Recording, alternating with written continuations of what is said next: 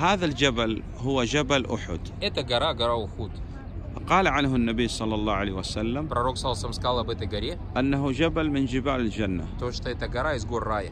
يحبنا ونحبه Сказал, что эта гора любит нас, и мы любим ее. نعم ه- هذا الجبل لا يغني عن أحد شيئا Эта гора ничем не может помочь никому. لو كان يغني عن أحد شيئا Если бы эта гора могла бы чем-то кому-то помочь, لأغنى عن النبي صلى الله عليه وسلم то она, والصحابة помогла رضوان бы, الله прор- عليهم то она помогла бы пророку Салсам и его сподвижникам. قتل الصحابة رضوان الله عليهم هنا عند أحد ودفنوا هنا Сподвижники были убиты у горы Ухуд и похоронены здесь. شج النبي صلى الله عليه وسلم وكسرت رباعيته Пророк Салсам был ранен и сломали ему зуб.